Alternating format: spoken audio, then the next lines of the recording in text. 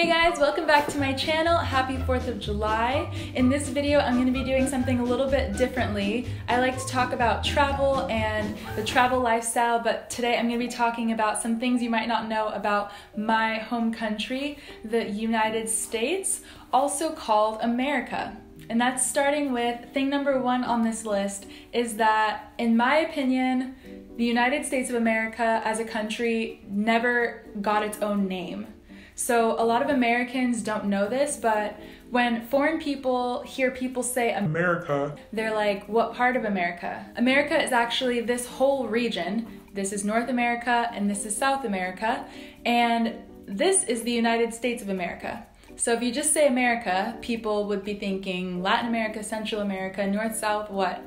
But the country is actually called the United States of America. Going on from that, United States actually used to be referred to as United Colonies of America before 1776, and in 1776 it was officially named United States of America. And in my opinion, that is not a country name, that's actually just a description of what we are which is a bunch of states that are united.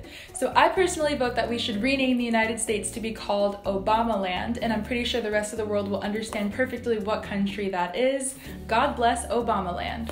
Second thing on this list Peanut butter and jelly are national cuisine. Yeah, no one else eats that anywhere in the whole world. Other countries are very confused why we eat PB&J sandwiches. They think that it's just a joke that we make in the movies, but no, we actually do eat these on a regular basis and throughout our whole childhood. So PB&J, strictly an American thing. And fun fact, other people have no idea what s'mores are. Another thing that I just found out about the United States is that we actually do not have an official language. There's no no official federal language for the United States. The Civil Rights Act, which was created in 1964, was created to protect taxpayers who don't speak English fluently. So the United States is open to all languages and we don't have an actual official language. Number four is that the United States is a country that has one of the lowest driving ages in the world. Having an unsupervised legal driver's license at just 16 is only something that a few amount of countries around the world has, less than 10%, I would say. In most countries, the driving age is 18. Number five is that we are a country that has one of the highest alcoholic drinking ages in the world. Most countries, again, use the age 18, but the United States is in a small group of countries where the legal drinking age is 21. Another thing that I didn't know about this topic is that each state actually has different drinking laws in underage drinking, and in many states, it is actually legal for minors to drink when the alcohol is provided by their consenting parents in private property. I didn't know that. Number six, a very controversial topic, is that United States is one of three countries that has the constitutional right for people to have guns and bear arms. And the other two countries in this list are Mexico and Guatemala. However, the United States is the only country of these three that has no restrictions next to this constitutional right to have guns. Do with that information what you will. Number seven, which is a little more lighthearted, is about our college and high school sports. It's completely an American thing that we have really intense, really organized uh, college and high school sports organizations.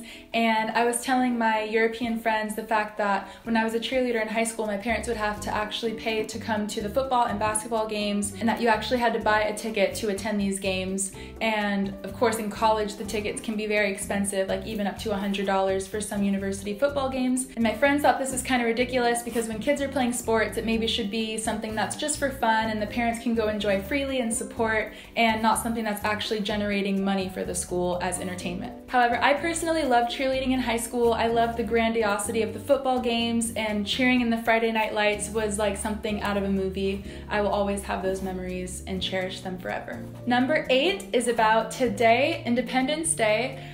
United States did not actually gain independence from Britain on the 4th of July, it gained it on the 2nd of July, and the 4th of July was the date that the Declaration of Independence got its very first signature. So, fun fact the 4th of July is actually not our Independence Day, it's the 2nd.